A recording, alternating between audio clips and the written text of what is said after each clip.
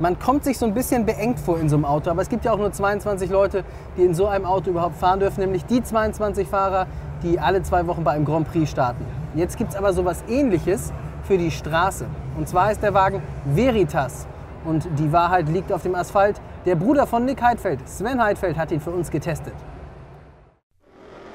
Das ist der Wahrheit und nichts als der Wahrheit. Zumindest für alle Supersportwagenfreunde. Der Veritas, lateinisch für Wahrheit.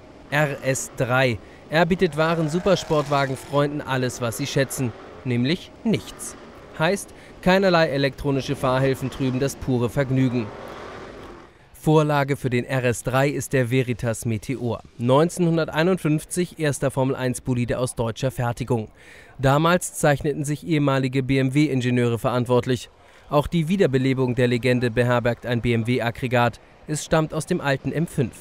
Der V8 leistet stolze 420 PS und 329 Stundenkilometer. Zum ersten ausgiebigen Härtetest auf öffentlicher Straße klettert Rennsportexperte Sven Heidfeld hinters Steuer. Die König-Sitzschale in edelstem Leder.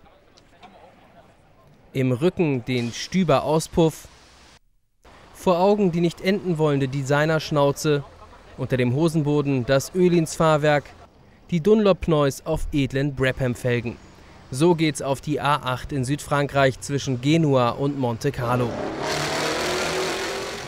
Der Profi zeigt sich vom Concept Car schlicht begeistert.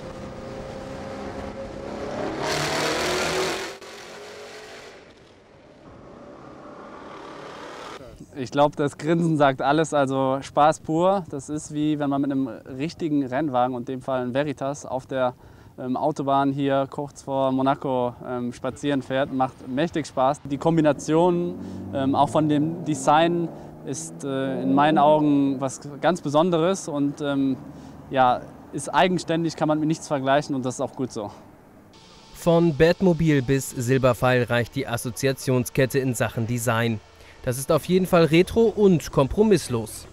Kompromissloses Design bedeutet in diesem Fall, dass wir die Technik im Vordergrund haben. Der Fahrer die Technik komplett spürt. Es ist nichts gedämpft. Wir haben hier alles, was man braucht, wenn man ein Herz für Motorsport hat. Herz alleine reicht aber nicht, wenn man mit dem RS3 nicht nur zum Brötchen holen fahren will. Fahren kann es eigentlich jeder, wenn er sich zutraut, so viel brachiale Gewalt zu beherrschen. Er hat keine Hilfen. Äh, er muss einfach gegebenenfalls einen neuen Führerschein machen, um es zu schaffen, dieses Fahrzeug zu fahren. Um dieses zu unterstützen, werden wir jedem eine Einweisung auf dem Nürburgring anhand geben, eine C-Lizenz. Damit wird es möglich sein, dieses Fahrzeug über die Straße zu bringen. Das dauert aber noch ein wenig, denn die erste Kleinserie von 30 Exemplaren des Veritas RS3 gibt es erst im Mai 2009 zu kaufen. Die V8-Version mit 420 PS soll dann 330.000 Euro kosten, der V10 mit 600 PS 400.000.